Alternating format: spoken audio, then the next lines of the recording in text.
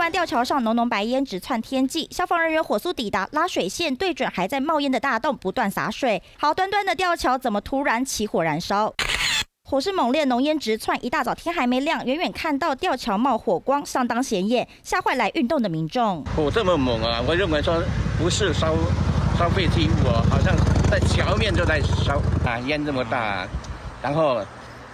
经过我过来被我发现的时候是二十五分的了，嗯嗯，那个是猛很猛的火，而且哈有零星的火火火星哈往下掉了。就算已经扑灭火势，但地上大洞还飘出细细白烟，不止钢筋钉子全外露，底下也没有任何保护。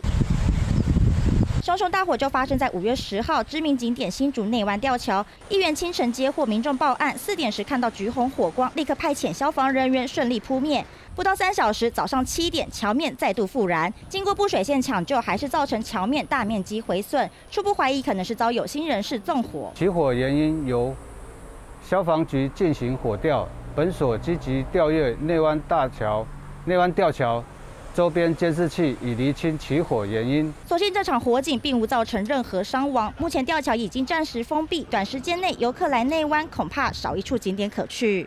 三立新闻赵浩一夜新体新主采访报道。